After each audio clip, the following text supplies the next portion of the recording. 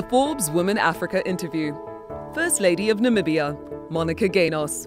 Before assuming the First Lady role in 2015, she was a co shareholder and managing director of Namibia's largest private equity fund for over a decade. Today, I'm very excited to be in conversation with an African First Lady for the Leading Women Summit. She's the First Lady of Namibia, Mrs. Monica Geingos, talking to us from the State House in Windhoek. Thank you so much, uh, Mrs. Geingos, for joining us today. It's an absolute pleasure to be talking to you. Thanks, Renuka. I'm, I'm delighted to be here. Most welcome. Um, let me dive right in, uh, Mrs. Geingos. You've had an illustrious uh, corporate career in the capital markets and the Namibian financial services sector. You were known as a lawyer and entrepreneur even before you became the First Lady. How did you overcome the general perception that a First Lady is only just a shadow of the President, as it's usually perceived? How have you managed so, to turn this perception around and lead? I um, I had a similar perception about first ladies before I became one. So I wasn't offended when I made assumptions uh, or when people made assumptions about me or my capacity. Uh, but what I did do is I quickly realized that um, when people underestimate you, it's not a bad thing. It actually works very much in your favor. Um, and the th- second thing that I did is I practiced a long-standing belief that you don't need to be a politician in order to be influential. And don't get me wrong, I think the role of politics is critical in any society. Uh, but I see people making a huge difference in their communities, in the societies in which they operate, in the industries in which they operate. Um, because you don't need anybody's permission or permit or, or position uh, to lead and that's really what i did i just uh, got on with it that's great. And you've also been uh, far more outspoken uh, than, than a number of the first ladies. Uh, you do speak your mind. And especially in the recent past, uh, you've spoken about the harassment that women face on social media and the backlash. And that's a very critical area uh, today where women are uh, cannot be seen or, you know, they, they do face backlash if they vote. We've come so far uh, uh in women's emancipation, but why is it, do you think, that women in the public eye especially are still more subject to such misogyny? Is this what deters more women from joining politics or public service, you think? Yeah, I, th- I, think there's several barriers that deter women from getting into publics, uh, into politics and the public space. Uh, but I do believe that misogynistic beliefs and mindsets um, and, and the kind of crude insults that we see and the forms of abuse are a real barrier because the, the intent is to put women in their place. So, yes, we have made a lot of progress and we must uh, stop and recognize that. But there's still a long way to go. Um, and changing mindsets, uh, changing societal belief systems is, is, is, difficult and it, it takes time. Um, one of the reasons, uh, Renuka, that I'm so outspoken about these issues is that it's often dismissed as something that you should ignore and that you shouldn't engage um, or just dismissed as irrelevant. And um, I'm, I'm outspoken about this because I know its impact. I know its uh, consequence. And, and fundamentally, um, how will you value what I say as a expert if you don't value the essence of who I am? Uh, so we must fight and, and, and push against it. So if anybody doesn't respect um, your agency, doesn't um, respect your right to dignity, I think it's important that you remind them um, of who you are, and and that's really what I I try and do. Um, it's impossible to to respond to everything, but there are sometimes where we need to push back against uh, powerful men or loud voices in society. And, and, and hold them to account so that everybody else can see what is happening here is not acceptable. No, that is true. And if you look at the language of political campaigning, campaigning is also so sexist, and most of the leadership is is largely men. Um, having said that, there are also some good certified men out there who can help us lead that dialogue. But then again, uh, uh, Mrs. Geingos, as someone in a position of power, you've also had uh, your fair share of social media trolls and cyberbullying.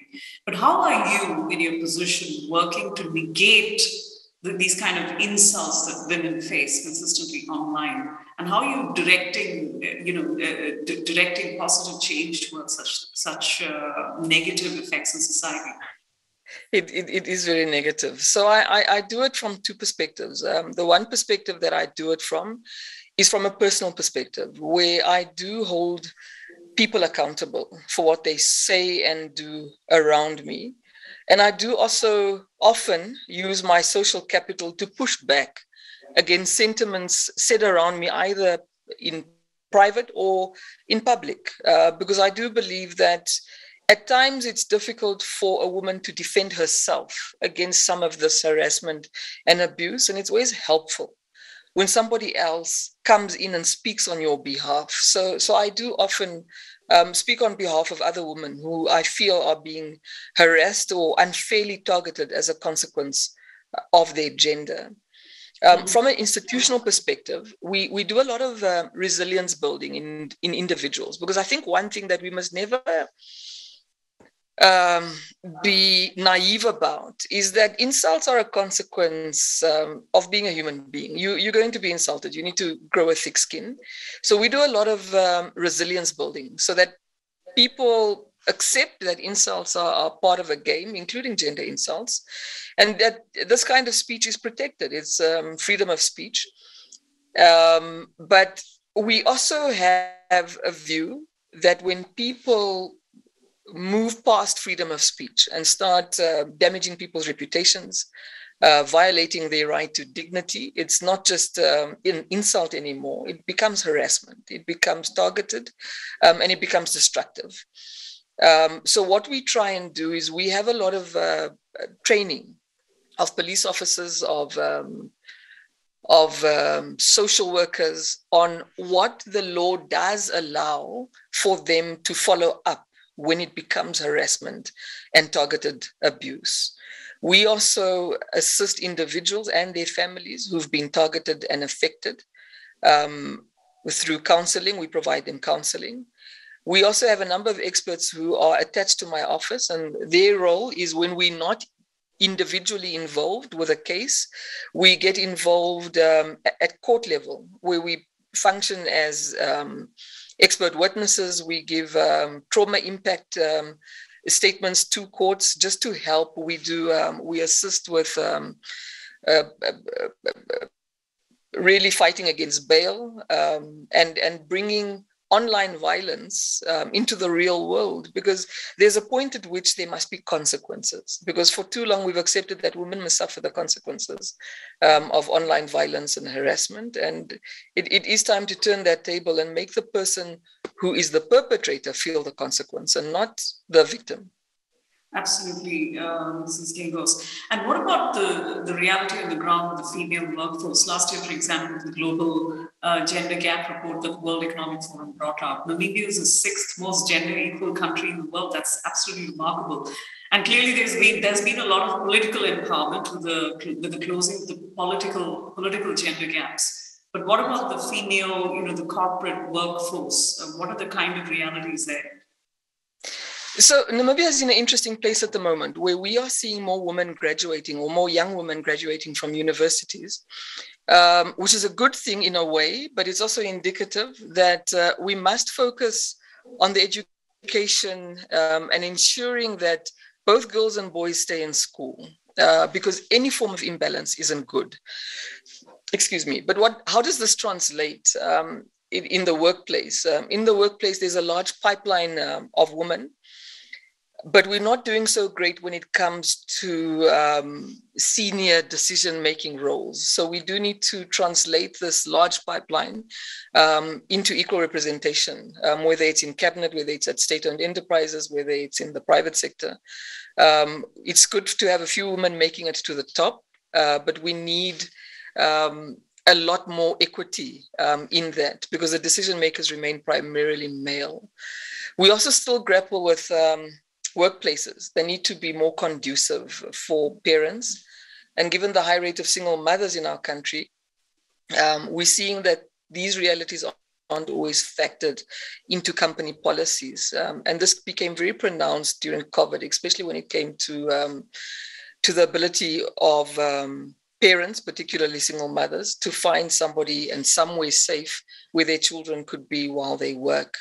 But the one thing I really want to highlight, uh, is is um, violence and harassment in the workplace. Um, there have been studies done in Namibia where this is one of the ongoing issues that affect women at all levels in the workplace um, with very little protection for them. So we're very excited, and it's good news that um, Namibia has ratified the ILO Convention 190 which um, is against violence and harassment in the world of work. And we are all looking forward to the um, recommendations and the policies that will be redesigned to honor that ratification. Great. That's great. And um, before I move to the last question, I have to ask you how are you now leveraging, because Africa seems to be the flavor of the moment for the world. How do you leverage global partnerships? How are you doing that for social impact now? So, because we do a lot of prevention work and a lot of um, advocacy work, it's very important for me personally that we first leverage local partnerships. There's, there's a lot of areas in the advocacy that we do and the prevention work that we do, whether it's in HIV, um, adolescent reproductive uh, health, um, mental health, uh, uh, gender based violence, a lot of the work that we do is not really fully supported by our private sector. And it's, it's fantastic for us to start seeing more and more private sectors private sector partners coming on board. It's important for funding and resources um, to come from the country in which you're doing the work. How we leverage global partnerships um, is we've really managed to use our office as a conduit for resources to come into the country, not only to fund the work that we do, but also to fund smaller organizations um, that are based in rural areas. We've done this a lot in the area of HIV.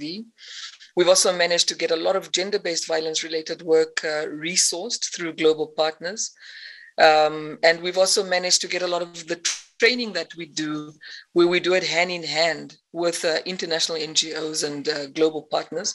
So we've managed to use our office as a way to be a connector between the global players um, and partners that we deal with, um, and making sure that it uh, kind of trickles down into the rest of the players in the country, particularly those who are in rural areas.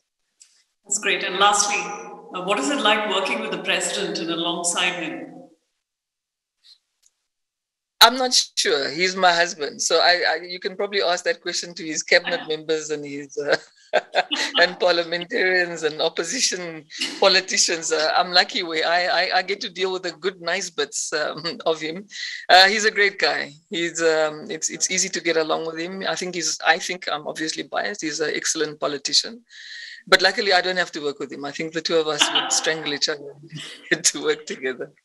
That's all, unfortunately, that we have time for. We'll have to wind up here. Uh, playing the role of connector, Mrs. Monica Geingos, the First Lady of Namibia. Please stay tuned to the rest of the summit unfolding today. Thank you very much.